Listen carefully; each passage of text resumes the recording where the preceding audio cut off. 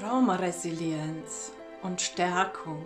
Müssen wir uns Sorgen machen, dass wir nicht stark oder ja, fähig genug sind für das Leben, wenn wir Trauma erfahren haben? Welche Faktoren können mir denn helfen auf dem Weg der Heilung oder ist etwa alles verloren? Und mehr Widerstandsfähigkeit kann ich ja gar nicht mehr erlangen. Im Laufe des Videos erfährst du Antworten auf all diese Fragen und meine acht ganz persönlichen Erkenntnisse aus 15 Jahren Kindesmisshandlung und danach weitere 20 Jahre Fürsorgen der Peiniger und Täter, also 35 Jahren Leid. Gibt es denn überhaupt positive Erkenntnisse und ja, positive Schlussfolgerungen aus so viel Leid und so ein Schicksal, fragst du dich vielleicht. Und ich kann dir schon zusichern, ja, es gibt welche. Ich heiße Gabriela und ich begleite Menschen mit Entwicklungstrauma, bin selbst Überlebende und ja, ich freue mich jetzt einfach auf dich. Ich habe 15 Jahre Kindesmisshandlung erlebt und zwar, ich war sechs Jahre alt, als unser Vater ja, sich von, von meiner Mutter getrennt hatte. Und ich bin mit meiner Mutter mit sechs Jahren und mit meiner Schwester drei Jahre dann alleine geblieben. Und von da an hat sich ja meine Mutter verändert.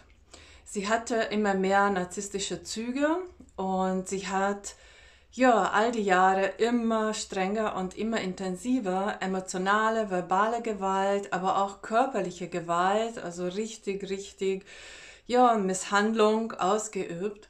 Und zuletzt dann auch noch sexualisierte Grenzen wurden überschritten. Leider erst deutlich später haben wir erfahren oder wurde dann auch festgestellt, dass unsere Mutter auch psychotisch erkrankt ist.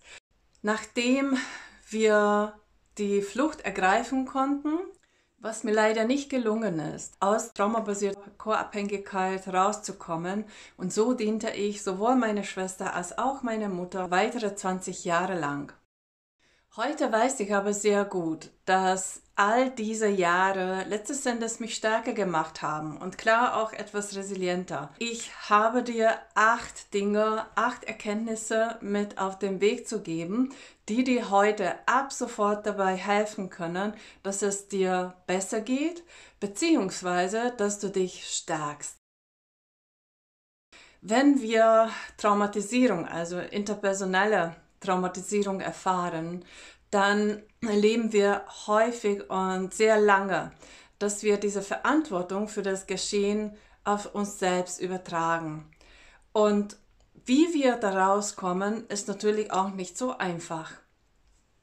Sehr lange glauben wir sogar daran, dass diese Ich bin schuld und ich bin auch ein Versager, wenn wir, wenn ich diese Schuld nicht bekämpfen kann, Insbesondere wenn wir Gewalt wiederholt und über ganz lange Zeit erlebt haben, ist es schwer, ja, den Weg zu gehen, bis wir diese Verantwortung abgeben können und bis wir dessen auch bewusst werden, dass es ja nicht unsere Verantwortung war und ich weder schuld bin, noch dass ich ein Versager sei. Ein zweiter ganz wichtiger ja, Kriterium ist, dass, es, dass ich das nicht nur weiß, also nicht nur mit dem Verstand, sondern dass ich das auch emotional verarbeitet habe. Also dass meine Emotionen auch tatsächlich sagen, nicht nur mein Gedanke, ich bin nicht schuld und ich habe auch nicht versagt. Wie kannst du das erreichen? Das ist üben. Das ist üben üben in Achtsamkeit und üben, dich selbst zu ertappen, wenn wieder dazu kommt, dass du ein Schuldgefühl oder ein Versagegefühl empfindest, dann prüfst, ist es jetzt wirklich so? Ist es berechtigt? Oder hat jetzt dich wieder diese alte Erfahrung sozusagen ja eingefangen? Ja, wenn wir Traumatisierungen erfahren haben und gerade auch diese ganz lang anhaltenden, dann ist dieses Gefahrgefühl sozusagen Bestandteil von unserem Leben und von uns. Das äußert sich äh, unter anderem in Ängsten, aber auch Hypervigilanz oder dass du ja, Flashback hast oder Intrusionen kommen, ähm, deine emotionale Flashbacks, aber auch natürlich die Erschöpfung, weil wir uns ja dagegen ankämpfen. Diese anhaltende Gefahrgefühl raubt uns unglaublich viel Energie. Das hast du wahrscheinlich auch erfahren. Und die Lösung ist, dass du das Sicherheitsgefühl äh, gestaltest und für dich einrichtest. Ich weiß, dass auch sogar in unserem Körper es häufig nicht leicht zu finden ist, irgendein klitzekleiner Ort, wo du Sicherheit empfindest oder auch natürlich in dein Umfeld, dass du diese Sicherheit schaffst. Aber es geht, das kann ich dir versichern.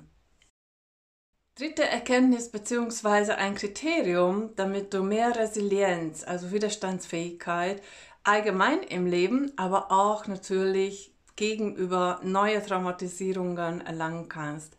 Da geht es jetzt um Selbstmitleid und Selbstbeschämung.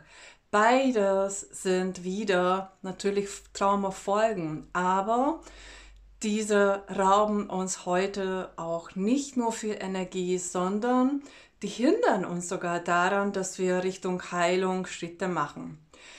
Selbstmitleid, also im Sinne, ja, das ist ja so, doch so Wahnsinn, was mir passiert war. Mein Schicksal ist ja doch, wer hält denn das ja wohl aus?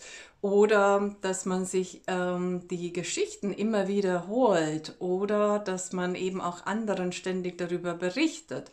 Und ähm, auch die Selbstbeschämung, also wo du dich selbst gegenüber mh, hm, Sanktionen sozusagen ja, einleitest, sobald du zum Beispiel nicht entsprichst. Oder dass du immer noch Ängste hast oder dass du dein Empfinden nach in der Heilung nicht ja, ausreichend voranschreitest. Jedenfalls, dass du dich selbst strafst und das ist natürlich zerstörerisch. Das heißt, dass es uns nicht nur nicht gut tut und uns an der Heilung hindert, sondern dass deine Gesundheit nachhaltig verschlechtert. Also es geht dir nicht nur nicht voran und es geht dir nicht gut, sondern du, du schadest dir selbst. Deine Lösung könnte sein, so wie bei mir, eine bewusste Entscheidung zu treffen und zwar mit dem Titel ich lasse mir niemanden mehr mein Glück zu nehmen.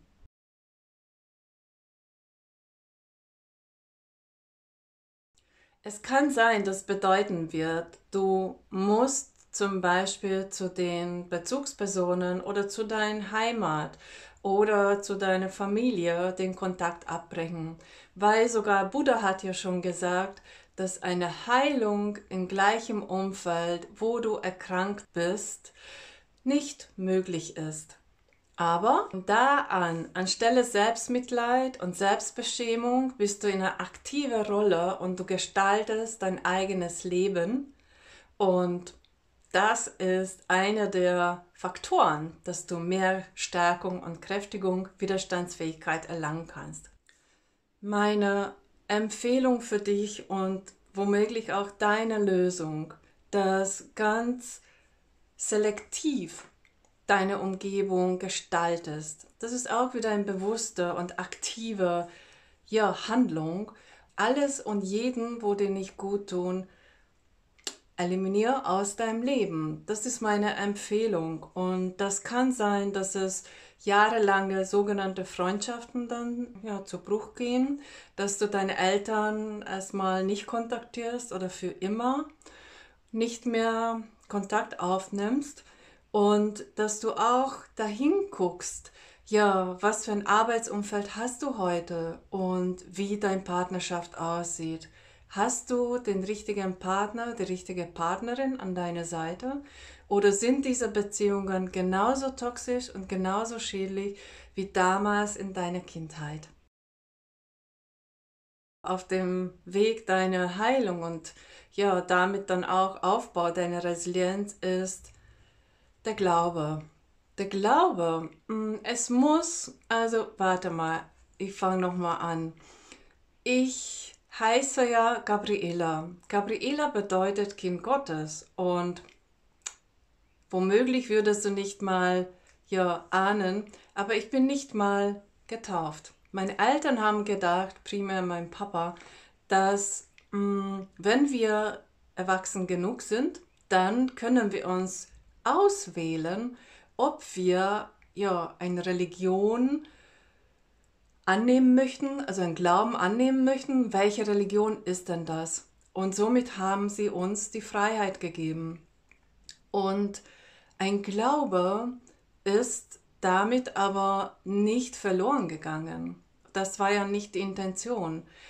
Der Glaube, den ich mir entwickelt habe, und das hat mir all die Jahre auch während der Misshandlung von meiner Mutter oder durch meine Mutter geholfen. Auch in, ja, in den Krankenhäusern, wo ich ja so ganz arg ja, um mein Leben gekämpft habe.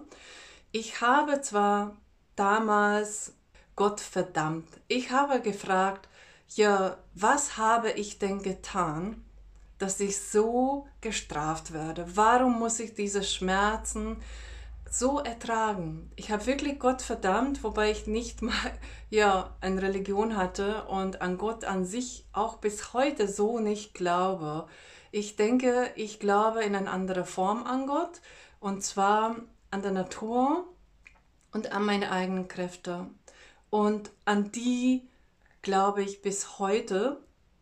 Und das könnte für dich auch die Lösung sein, dass du ein Glauben mh, suchst oder findest oder ein Glaube findet dich ein Zuflucht, ein innerer Zuflucht findest, der, der oder die oder das, wie auch immer, äh, wie dein Wahl dann ausfällt, aber in ganz schlimmen Zeiten, wo man in der Regel alleine ist, ja, ähm, darauf zurückgreifen kannst. Und ich habe noch ein Geheimnis für dich. Bis heute habe ich ein Mantra, was sozusagen in solchen Fällen und bis heute, auch wenn ich ganz arge Schmerzen habe zum Beispiel, ähm, die ich ja ständig sage. Und das ist ja aus meiner Kindheit entstanden. Als mein Papa damals ging, ich war ja noch nicht mal ganz sechs Jahre alt, also irgendwie so fünf, so fünfeinhalb. Und sein Verlust war für mich ein, also ein, ein, bis heute eigentlich mein größter Trauma. Und das zweite Mal ihn zu verlieren, jetzt in 2018, war dann der Punkt, wo bei mir alles zusammenbrach. Und von Kind an, dass ich innerlich immer ihn gerufen habe. Also ich habe immer gerufen, Opa, Opa, Opa. Das heißt ja auf Ungarisch ähm, Papa. Und das ist wie ein Mantra. Das hat mir so viel geholfen. Und vielleicht findest du dir auch ein Mantra. Wir wissen, dass Mantras auch heilsam sind. Und das kann alles Mögliche sein. Das kann auch Liebe sein oder es kann ja auch eine Person sein, die dir viel bedeutet. Ein Name sein, das kann ein Tier sein, ein Krafttier sein. Aber das ist auch ähm, ja, ein Teil von Glaube. Ein Glaube, dass diese Mantra, diese Wiederholung einen beruhigt. Das wissen wir ja auch. Wir beginnen uns sogar auch zu bewegen. Ja? Und kann ja dein Glaube an, ob das jetzt Jesus ist oder Buddha ist oder bist du ein Hindu oder Moslem, das ist egal. Vielleicht bist du auch Atheist oder glaubst du so wie ich äh, unter anderem auch an der Natur. Aber ein Mantra mit dazu hilft auf jeden Fall. Probier mal vielleicht aus. Mein nächste Erkenntnis ist, Danke zu sagen. Und zwar so oft, wie nur geht. Es ist jetzt nicht damit zu verwechseln, dass diese Art von Pleasing, ja, was wir mit Entwicklungstrauma und emotionaler Gewalt so häufig dann bis heute machen, also diese sehr, sehr höflich sein und immer für alles, also wirklich für alles bedanken, sondern das ist im Sinne Dankbarkeit. also wo du ein tiefes Empfinden kultivierst und versuchst zu spüren, dass die Existenz, dass dein Leben immer noch da ist und dass du das überlebt hast, dass es ein, eine wunderbare Bereicherung für dich ist und dass es dich auch stärker gemacht hat.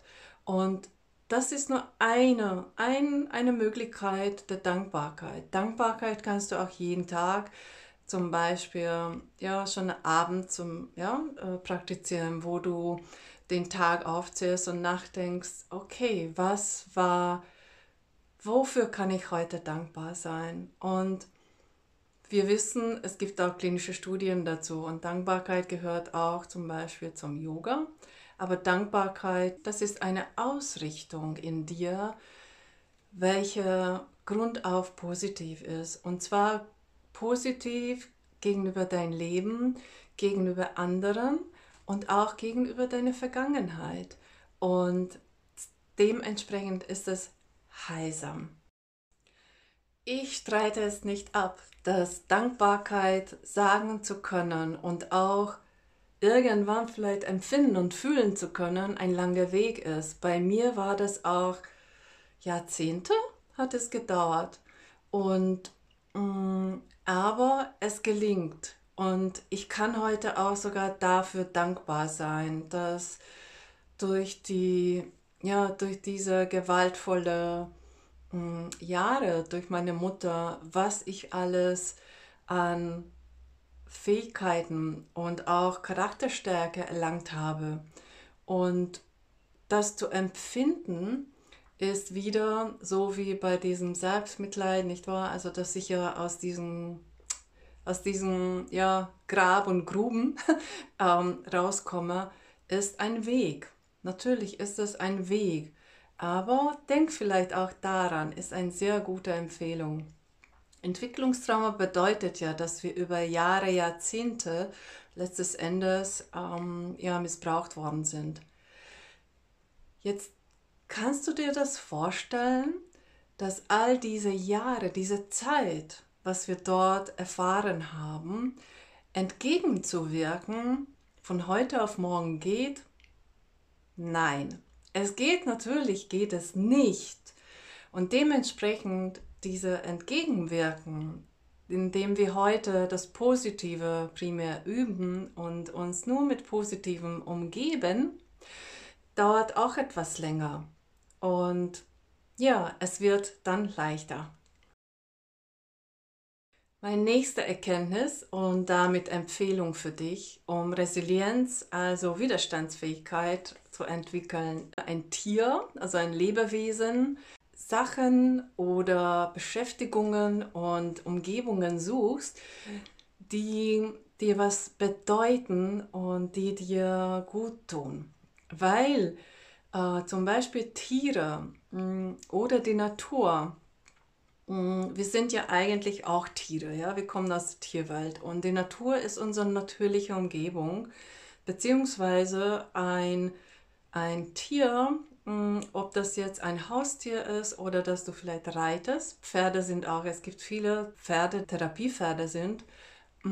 Tiere können ja uns auch sehr gut spiegeln und aber auch sehr empfindsam uns äh, begleiten. Nicht umsonst gibt es auch Assistenzhunde zum Beispiel.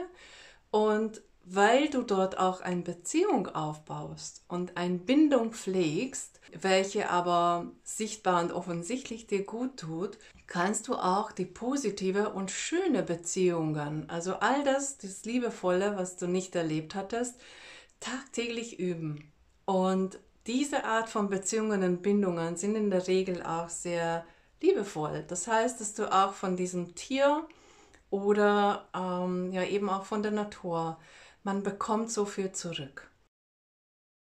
Allerletzte Erkenntnis und auch ja zu deiner Stärkung möchte ich mitgeben. Wir denken häufig, wir sind die Einzigen, die ja nur so was von schwere Trauma erlebt haben. Und kein anderer hat es so leidhaft und so schlimm erlebt. Und die Erfahrungen, die wir häufig bei oder mit Therapeuten und auch Kliniken erlebt haben. Ich gehöre auch dazu. Seit 1996 bin ich in ja, Begleitung von Therapeuten. Und dass man nie richtig eine Heilung oder einen ganz wesentlichen Sprung ja, auf dem Weg der Heilung erfahren durfte. All diese Erfahrungen leiten uns häufig dazu, daran nicht zu glauben, dass wir in der Lage sind und dass wir fähig dazu sind, Richtung Heilung voranzuschreiten. Aber wir sind das. Jedes Tier und je auch der Mensch gehört dazu als Homo sapiens, das in der Lage ist und das über Selbstheilungskräfte verfügt. Ansonsten wären wir schon ausgestorben. Also diese Rasse oder diese ähm, ja, Lebewesen, Mensch, mh, mm, verfügt über Heilungskräfte und auch über die Fähigkeit, einiges in unserem Organismus und in unserem Körper, wo ja so viel von unserem Trauma eben abgespeichert ist, zu verändern. Und diese Lebensfähigkeit und diese Heilungsfähigkeit ist auch in dir. Es ist auch in mir. Ansonsten wäre ich ja nicht mehr da und könnte ich gar nicht zu dir sprechen. Die Frage war ja noch, ob wir uns Sorgen machen müssen, ob wir überhaupt für diese Leben und für ein neues Trauma ja stark genug sind überhaupt. Und ich sage dir, ja,